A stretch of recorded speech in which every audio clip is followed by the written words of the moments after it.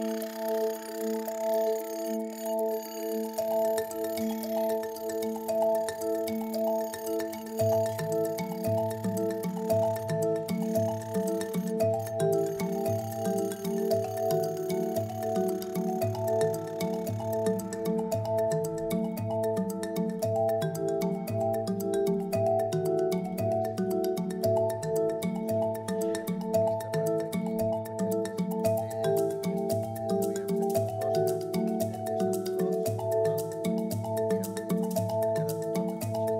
it's very interesting because now uh, we know more about the ancient seas. We are talking about uh, 84, 83 million years ago, and we uh, know uh, um, more about the paleoecosystem of the Pyrenees.